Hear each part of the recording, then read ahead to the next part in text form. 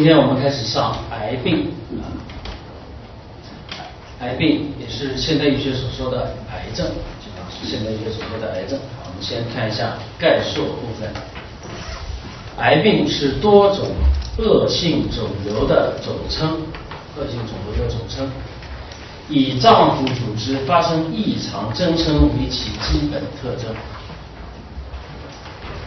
是多种恶性肿瘤的一个总称，以脏腑组织发生异常增生为基本特征。它的临床表现，我们看一下，主要是这个肿块逐渐的增大，有个肿块逐渐的增大，表面高低不平，质地坚硬，伴有疼痛、发热、纳差、乏力、逐渐消瘦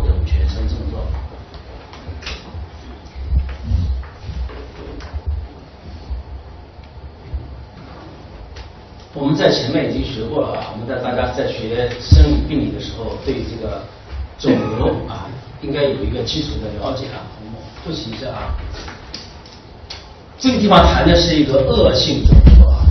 我们知道肿瘤分为什么？肿瘤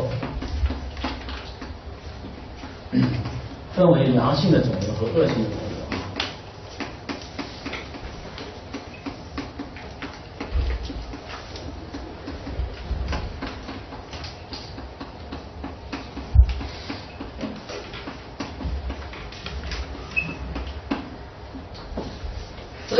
是中医的名称，那么西医啊里面有个名称是癌症。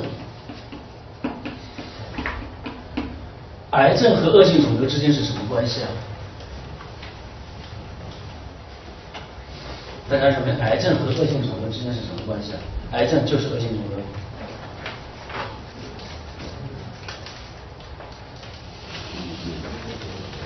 那这两个之间是什么关系啊？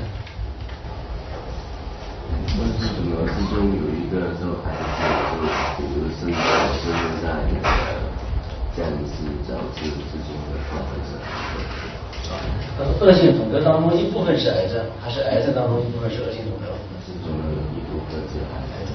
啊，好的，说的对啊，就是恶性肿瘤是一个大的概念。我们所说的癌症是恶性肿瘤当中的一个绝大的部分。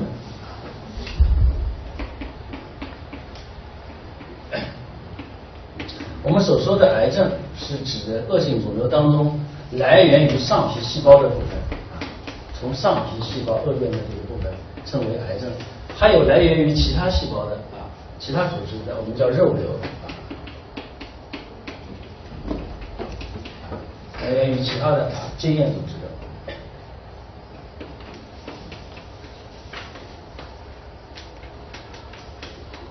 这个概念我们要首先要清楚啊，首先要清楚。癌症是恶性肿瘤当中的绝大的部分，但是恶性肿瘤它的范围要比癌症要大啊，要比癌症是大。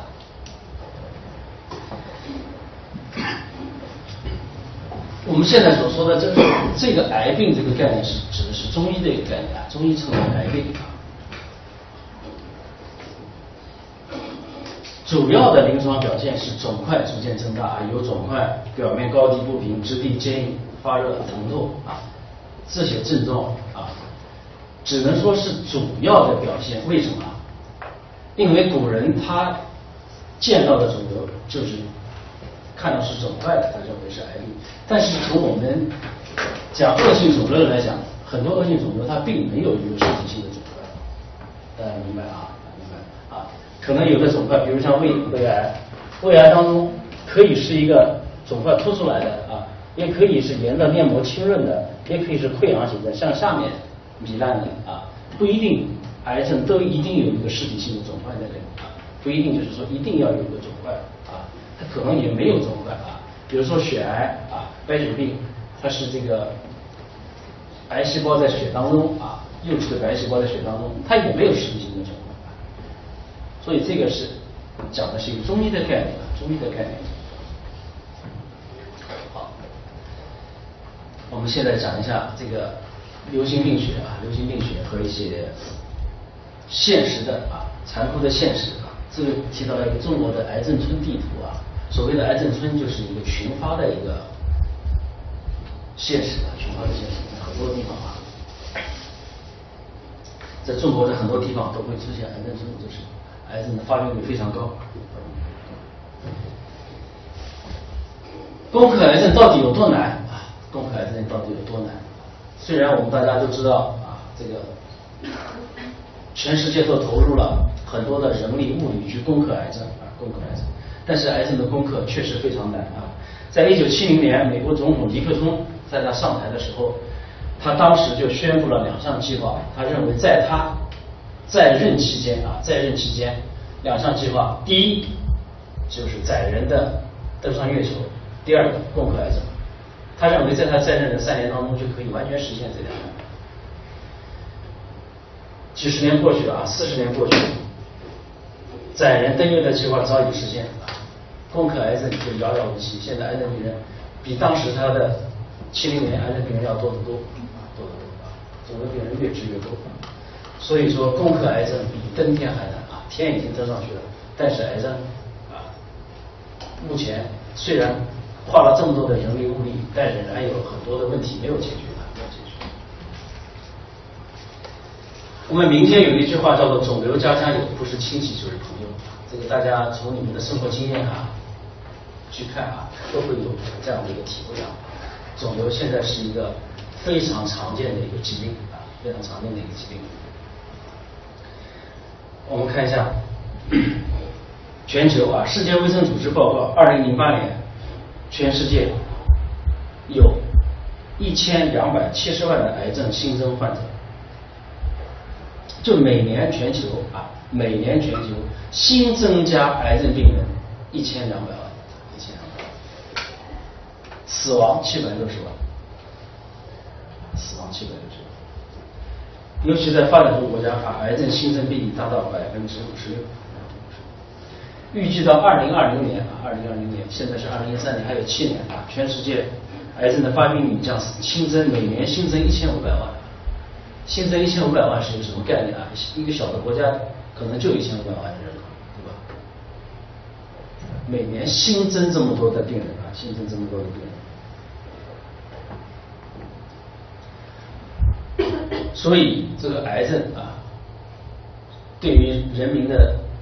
人类的生命健康的危害啊是非常厉害的。那么对于中国来说啊，对于中国来说，那么二零一二年啊，中国有一个肿瘤登记年报啊，它每年它出一版肿肿瘤登记年报啊，公布了公布了一组让人非常震惊的数据啊，就是中国每年新发肿瘤病例三百一十二万例，平均每天八千五百五十人。全国每分钟有六人被诊断为癌症啊，每一分钟有六人诊断为癌症，每一天有八千五百五十人诊断为癌症，诊断为癌症。大家看看这个数目，非常触目惊心。每天有八千五百五十人是确诊为癌症，可能有些地方没有确诊的呢，对吧？没有确诊的啊，并不是所有地方医疗条件都这么好，都这么好。可能还有没有确诊的？已经确诊的啊，每天有这么多的人啊，这么多人。新发病例啊，新发病例还不包括以往就是已经发生的病例啊，已经生存下来的，通过治疗生存下来的，就是每年新发的病例啊。就我们南京而言啊，乳腺癌的病人每年新发乳腺癌的病人四千到五千。所以我们搞肿瘤的这个肿瘤确实是非常非常多啊，非常非常多。光是肿瘤病人，光新发的每年就有三百多万人啊，全国。那么每年有两百七十万中国人死于癌症，新发了三百一十二万，有两百七十万人有死于癌症。就是，他不是说就新发的当中有两百七十万人死，而是说就是每年就是包括他新发可能过了几年啊，存活几年以后有死的。也就是说，诊断的癌症病人当中，五位癌症病人就有三人要死。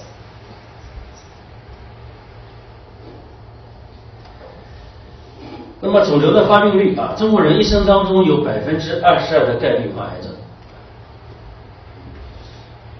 百分之二十二的概率患癌症。那么死亡率是百分之十三，这个发病率和死亡率都是很高啊，我上个月在马来西亚去讲这课的时候，马来西亚的发病率，比中国低。那么中国的现在我们搞的是这个这个医疗保险制度啊，医保。那么医保国家投入了大量的钱啊，把它这个钱去保障人民的生活健康。但是医保钱的一半，主要是中国的两个病，一个是癌症，第二就是肾脏的肾衰、透析啊，尿毒症啊、透析，这是医保的钱的一半啊，主要是就是消费在这两个病上面，这两个病上。所以我们控制癌症，控制癌症最好是预防癌症不要发展，这个对于我们来说是非常重要的、非常重要的一个事。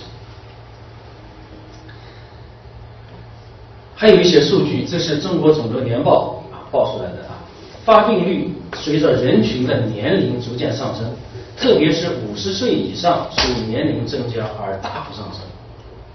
五十岁以上占全部发病的百分之八十以上，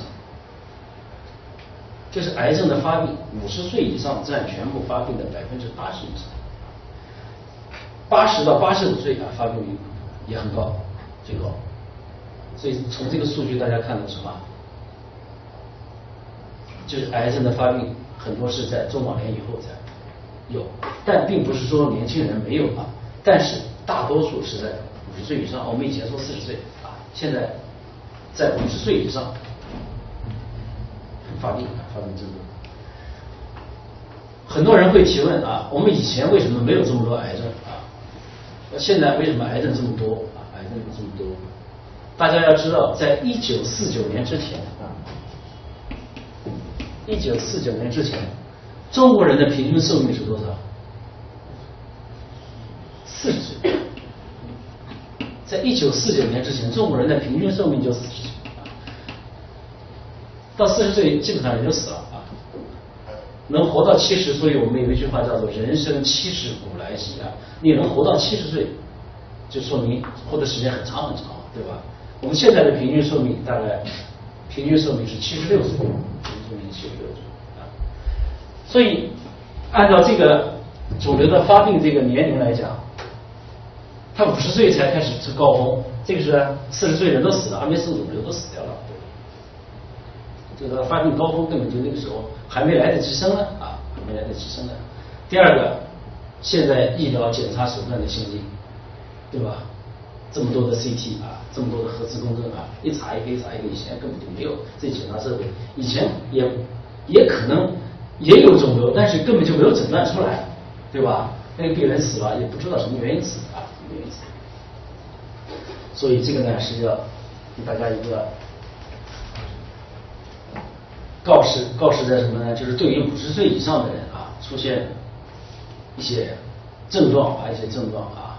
比如说咳嗽、卡血啊，不想吃东西啊，吞咽梗阻、大便有血啊，这些都一定要警惕肿瘤的发生。第二个，肿瘤的死亡率是和年龄相关的啊，六十岁以上随年龄的增加大幅度上升，六十岁以上约占全国死亡病例的百分之六十三。嗯因为六十岁以上。一个是他是体质比较差，另外一个他也可能合并有其他的慢性疾病，对吧？他有的病人死不一定是死于癌症，也可能其他的疾病也会影响他的生命，影响他的生命。好，我们看一下中国排名前十大的肿瘤啊，排名前十大的肿瘤：肺癌、胃癌、结直肠癌、肝癌、食管、乳腺、胰腺。淋巴瘤、膀胱癌、甲状腺，这个中国排名前十大的肿瘤，这里仅仅指的是二零一二年中国肿瘤中国肿瘤年报里面提出来的，每年都不太一样，每年不太一样。二零一一年的时候啊，甲状腺癌没有在这里面啊，甲状腺癌没有在这里面。啊，到二零一一年的时候没有在里面，二零一二年年报里面，甲状腺癌已经进入了前十大肿瘤，说明它的发病率在增加啊，增加。肺癌是第一位啊，肺癌这么多年一直是第一位啊，在城市里面肺癌的发病率是第一位啊，在农村胃癌的发病率更多，但是总体来讲啊，总体来讲，肺癌发病是第一位的啊。第一位大家看看胃癌、结直肠癌、肝癌、试管癌，这些都是消化系统的肿瘤啊，什么腺癌的消化系统肿瘤，就是消化系统肿瘤更多一些，更多一些。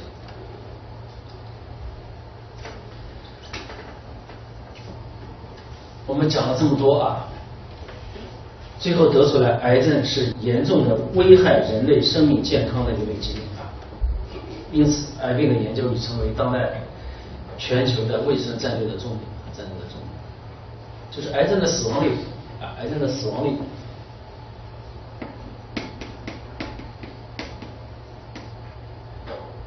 以前死亡率呢，就是心脑血管疾病啊，心脑血管疾病和癌症死亡率。经常是互为第一啊，有一年啊，比如这一年啊，癌症死亡第一啊，第二年心脑血管病死亡又第一，总是他们排在前两位的啊。现在呢，死亡率的算法把心血管病和老病啊分开来算啊，心血管的死亡率和老病，那么这样癌症的死亡率就一直排在第一位，癌症死亡率排在第一位。所以这个我们以后啊。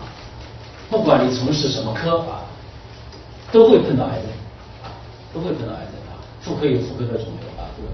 内科有内科，骨伤科有骨骨的肿瘤，儿科有儿科的肿大，每一个科都有肿瘤啊，都有。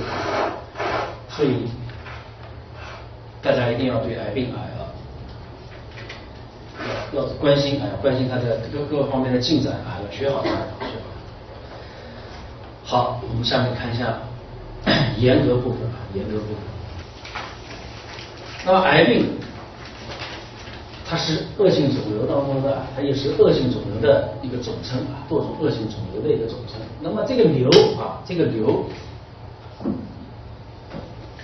并不是说啊，我们现在才说有肿瘤啊，在甲骨文当中就有一个瘤的记载啊，瘤的记载。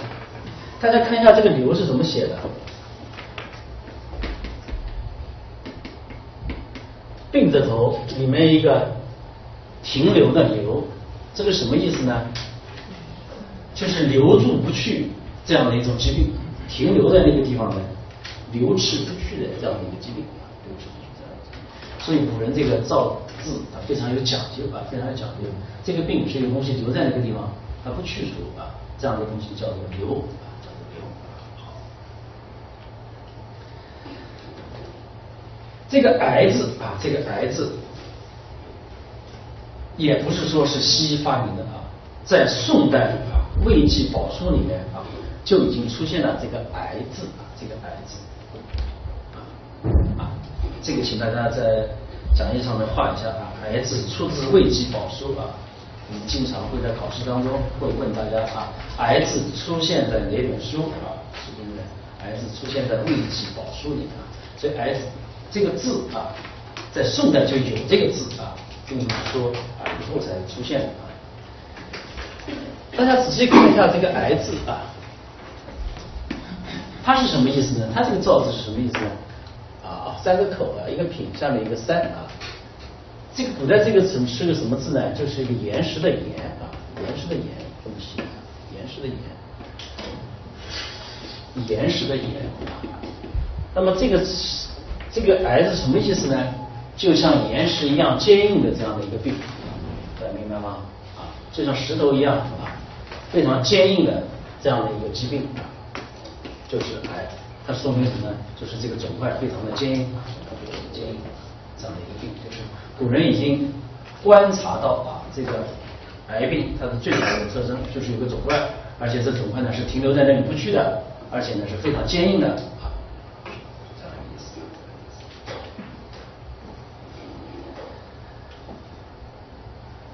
那么在中医的著作里面啊，对于癌症的病名啊，就有很多的名称啊，有很多的名称啊，甲状腺啊叫湿阴啊，肝癌的叫肝疾啊等等啊等。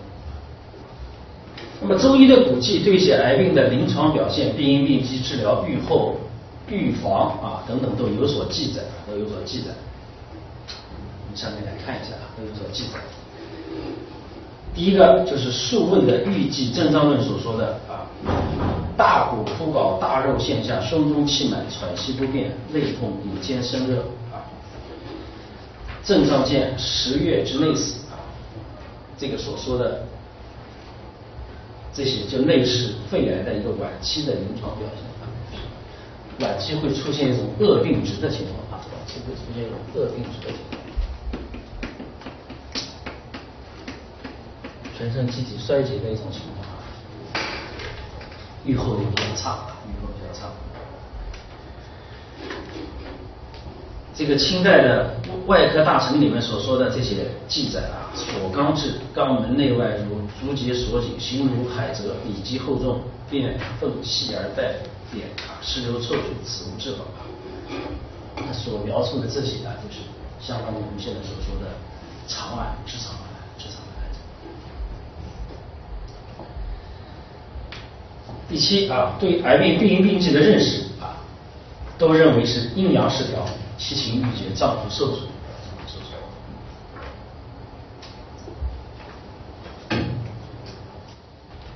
因为认为是阴阳失调、气情郁结啊、脏腑受损的原因，导致了气滞血瘀，久则成为一个真假积聚。比如著名渊博论所说的“助脏受邪，出未能成积聚啊，流滞不去，乃生积聚啊。”关于癌病的治疗啊，癌病的治疗啊，也有很多丰富的治疗方法，有内治的方法，也有外治的方法啊。这个很有名的就是张景岳的张景岳的治疗，他对于癌病治疗的一个论述啊，论述。他说癌病的治疗不过四法啊，越攻越消越散越补四者而已啊，就是认为癌病的治法主要是在这四者上。攻法、消法、散法和补法，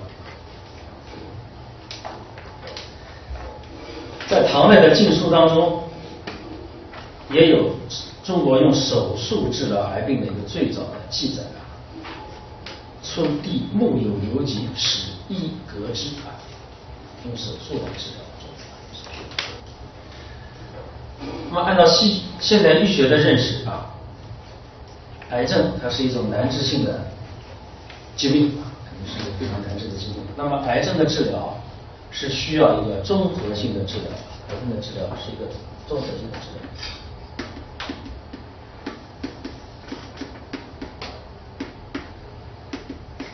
我们常用的癌症的治疗大概有哪些方法？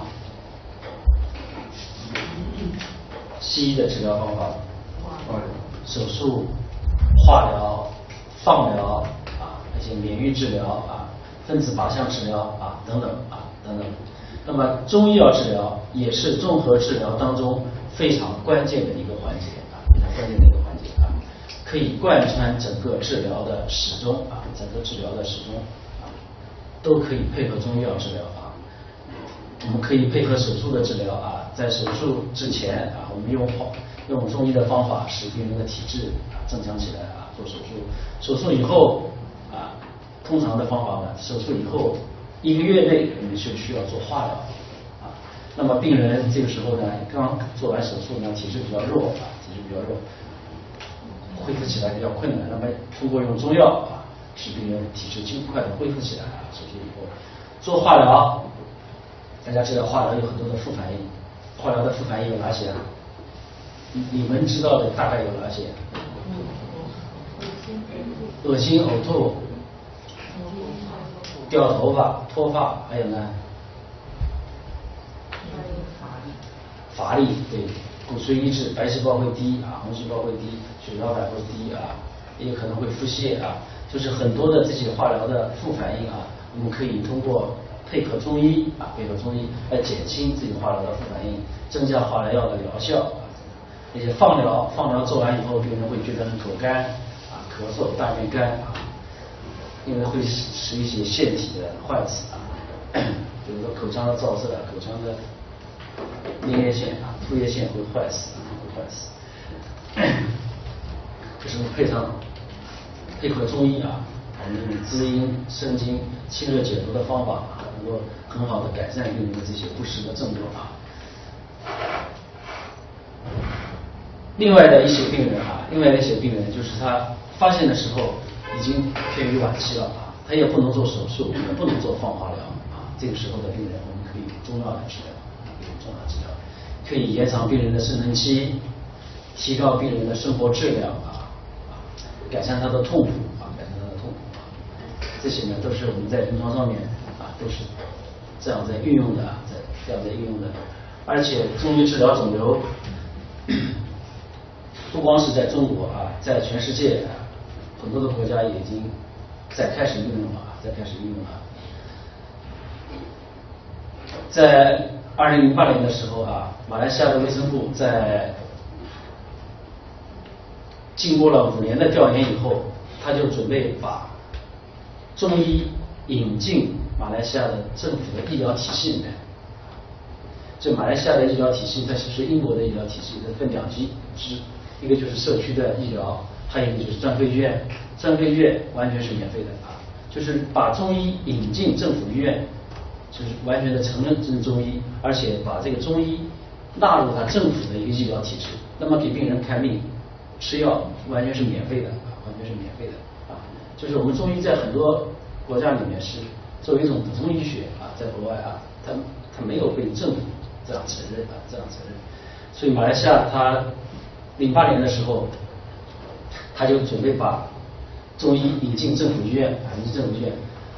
他当时只定了两个病啊，到目前为止也是两个科，一个是针灸科进入政府医院，另外一个就是中医肿瘤，就定了这两个科，进入政府医院是完全病人是在马来西亚的民众是可以免费享受这样两种治疗的，一个是针灸，一个是中医肿瘤啊。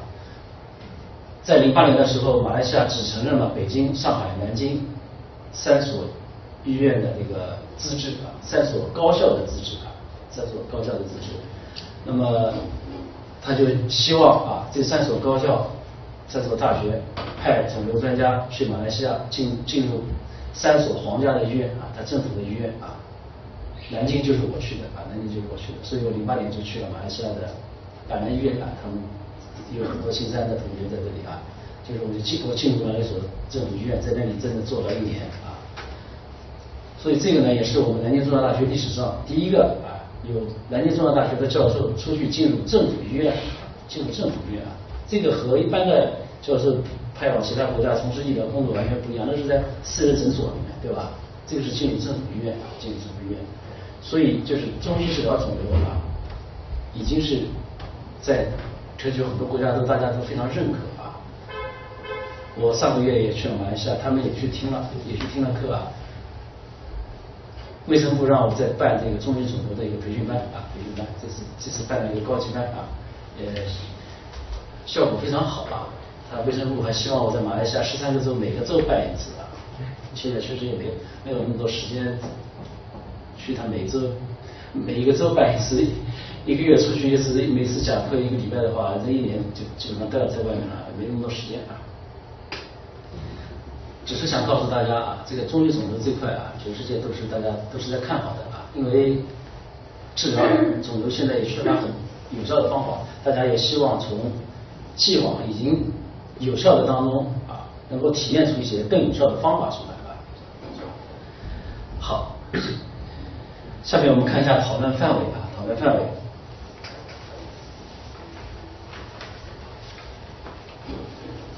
那么我们这本书里面啊，我们这本书里面教科书里面讨论的主要是脑瘤、肺癌、大肠癌、肾癌和膀胱癌啊，只谈到了这样几个病啊，谈到这样几个病。另外，肝癌、食道癌、胃癌、甲状腺癌，它就分在其他的章节里面去讨论了其他章节里面去讨论啊。食道癌放在叶格里面的，肝癌放在这个积聚啊，积聚里面啊。胃癌在胃痛里面，甲状腺癌在阴病里面去讨论啊，去讨论。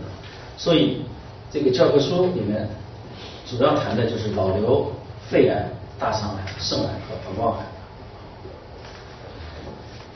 好，我们下面先看一下病因病机啊，病因病机。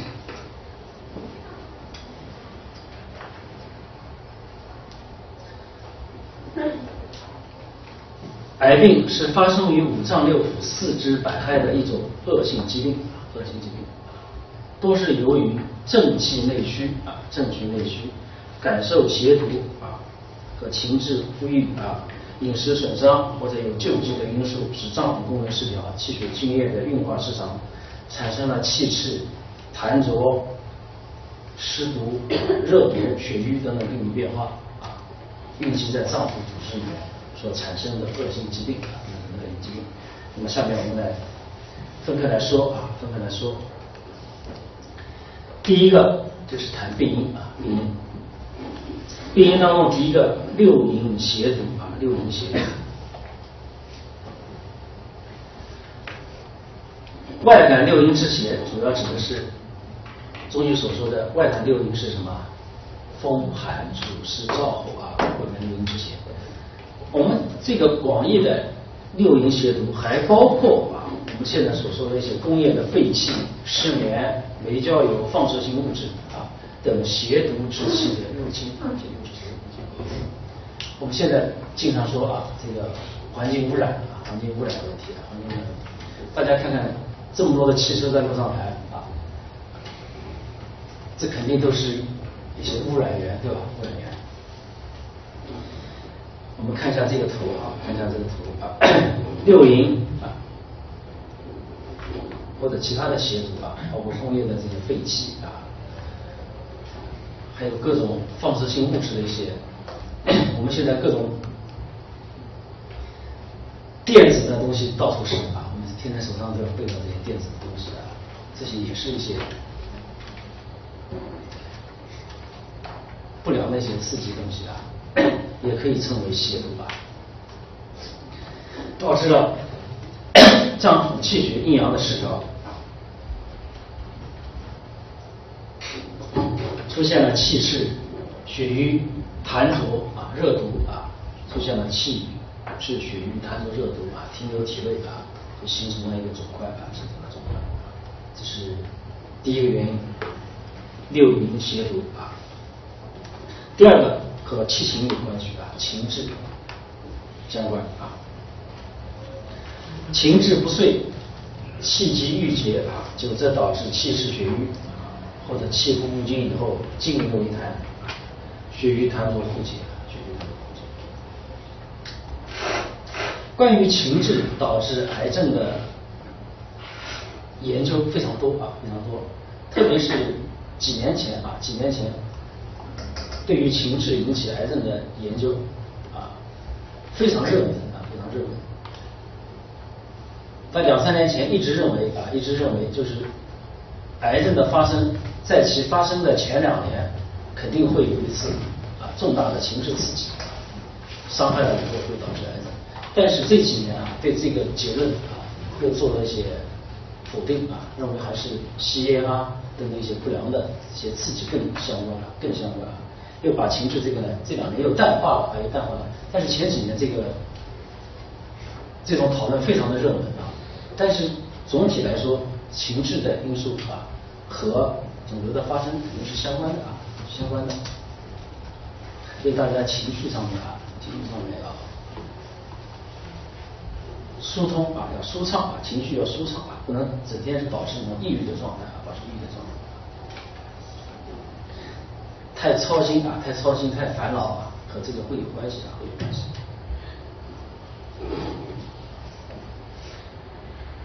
我现在临床上见到很多的乳腺癌的病人啊，乳腺癌的病人，教师，特别是小学教师。小学教师是最烦的，烦那些小小孩这个这个这个上学，他们操心的更多啊，所以跟这个情绪上面是有相关的。好，大家看一下，情志不遂啊，导致了气机郁结啊，引起气滞血瘀，进入为痰，逐渐成一个肿块啊，肿块，也就是情志不遂啊会出现肿块的这样一个。病理机转啊，导致气机郁结啊，气滞血瘀，进入为痰，间接成乱啊。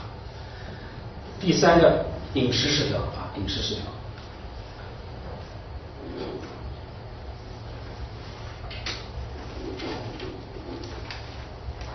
四号烟酒啊，这个烟啊，希望大家戒烟啊，希望大家戒烟啊。这个吸烟对于肿瘤的发生，目前是非常明确的一个诱因啊。非常明确的一个诱因还有一些辛辣制品啊、煎烤制品、烧烤制品啊，都会损伤皮肤。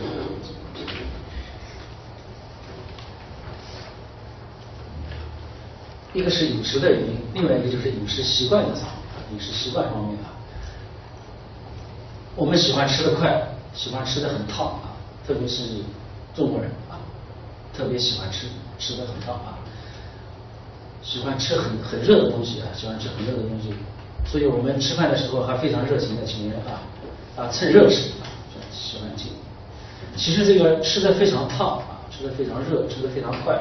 对于我们食道黏膜的损伤是非常严重的，我在马来西亚待了这么一年时间，在马来西亚一个食道癌都没有见过。我走的时候和卫生部的人探讨过这件事情啊。马来人吃饭啊，就是马来民族他们的吃饭，他们怎么？他们吃饭是用手抓的，他们那个饭做好了，他们手抓，然后把菜浇点卤子里面，然后手这样抓了拌了以后这样抓着吃。他马来西亚的习惯就是这样啊，习惯就是这样。所以他马来人吃东西，他那个东西不是很烫，不会是很烫啊！你不可能吃火锅，你手伸到火锅里面，对不对？我们这边这么喜欢吃火锅，对吧？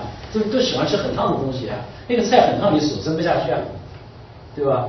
我刚去马来的时候，我在那个皇家医院里面吃了马来人的食堂，我就很不习惯，为什么？因为菜大部分是冷的，或者是温的，它不热嘛，啊，我们吃的就不舒服啊。但是它那个有它一定的道理的啊，有它一道理的。为什么呢？就是我们经常吃热的东西啊，这么烫的东西，我们的黏膜会什么？会损伤。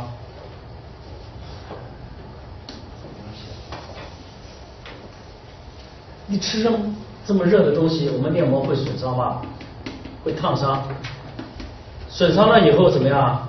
我们体内会修复，对吧？就把它补起来，然后呢，再损伤，再修复，就这么不停的折腾啊。总是损伤修复，损伤修复，在这个过程当中，就会出现基因的变化啊，就会突变。就像你这东西破了以后，你补一个东西，总会和原来不一样了。你再补到最后，就已经原来不是原来那个东西了，对吧？它那个基因就会突变啊，这个基因突变。所以我们吃东西不能太快，不能太快啊。最佳的时候啊，每口饭要咀嚼二十五下以上啊。但是我们有多少人做能做到你咬二十五下再咽下去呢啊？你看咬咬两下你就吞下去了，吃饭不能太快，不要太烫，不要吃的热的东西啊，热茶拼命非要非要这么滚烫的烫的觉得舒服啊，其实烫到什么黏膜全部都损伤了，都损伤了。所以一些饮食习惯有关系的，还有这些辛辣辛辣的东西啊，烧烤的东西啊，烧烤的东西啊，这些这些都是不好的啊，还有一些霉变的东西啊，霉变的东西。江苏启东啊，我们江苏的启东就是赣南的高发区啊，他们一些霉变的东西喜欢吃啊，霉变的东西。还有人喜欢吃什么腌菜、咸鱼啊、腌制品啊，吃的太多也是不好的，也是不好的。那么丝毫烟酒啊，辛辣煎炸啊，可以损伤脾胃，导致气血虚。好，第四个，素有救急啊，素有救急，就是本身身体虚弱啊，身体本身虚弱的情况下啊，再加上其他的一些因素啊，就加重了气痰湿水血等的郁结啊，郁结出现癌症。好，我们先下课休息一下。